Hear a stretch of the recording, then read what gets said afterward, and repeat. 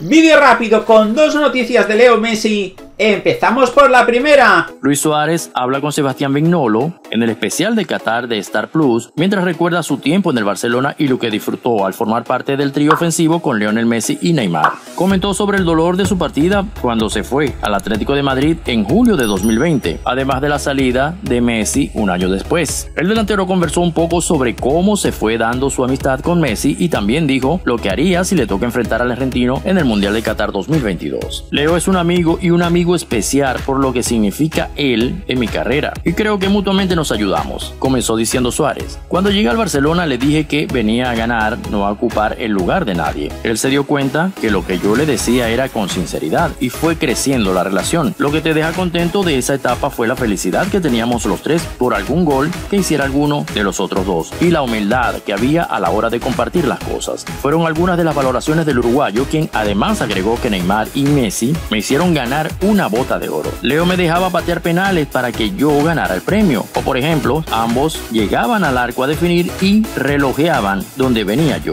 Eso lo valoro muchísimo. No había ego de ninguno. Los tres estábamos contentos y felices y el resto del equipo corría por nosotros porque se daba cuenta de eso. Este tridente se pudo disfrutar durante tres temporadas, desde la llegada de Suárez procedente de Liverpool en julio de 2014 hasta la salida de Neymar al Paris Saint-Germain en agosto de 2017. En julio de 2020 le dijeron a Suárez que no se quedaría en el club. En la entrevista recordó y compartió lo siguiente. Me dolió y sufrimos mucho. Veníamos de la eliminación de una UEFA Champions League ante el Bayern Múnich y del Burofax de Leo. Fue muy complicado y doloroso todo. Primero por la forma por cómo se dieron las cosas y también por el trato que hubo. Yo iba, me presentaba y entrenaba y me mandaban a entrenar aparte. Sufría mucho, llegaba a casa y lloraba por cómo me habían tratado. Me dolía. También era un mensaje de que querían dejar a Leo solo, separarlo. Nosotros no teníamos nada que ver, era un quilombo del club. También agregó, en los años que estuve en el Barcelona nunca bajé de los 25 goles por temporada. La pasamos mal, Leo sufrió muchísimo, nunca había visto a Messi llorar como lo vi llorar en el Barcelona. Le dolió. Siempre me quedó esa incertidumbre de por qué fue todo. Pero luego, por suerte, fui feliz en el Atlético de Madrid. Consultado sobre sus pronósticos para el Mundial de Qatar 2022, Suárez dijo, esperemos poder estar hablando de que llegue Argentina y Uruguay a una final para poder disfrutar, sería lindo para Sudamérica. Si Messi queda frente al arquero en esa hipotética final ante Uruguay, sale un quiricocho de acá a la luna. Además, enfatizó que aunque el argentino es muy buen amigo, claramente sueña con convertirse en campeón mundial con la celeste y comentó, en la final de la Copa América de Brasil 2021 hinché por Argentina. Me gusta verlo feliz porque Leo es mi amigo, ver cómo se desahogó. Se lo merecía luego de tanto tiempo luchando por su selección,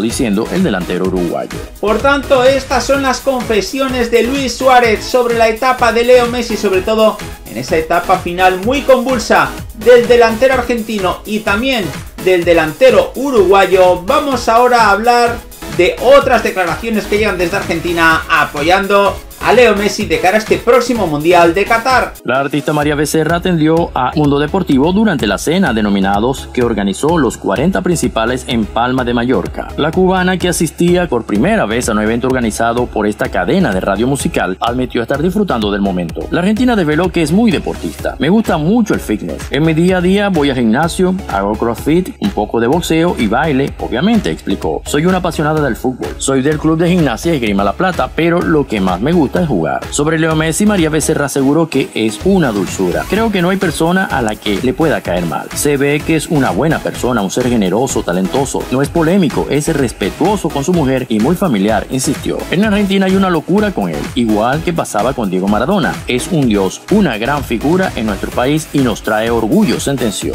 Por tanto, estas son las palabras de María Becerra sobre el crack de Rosario.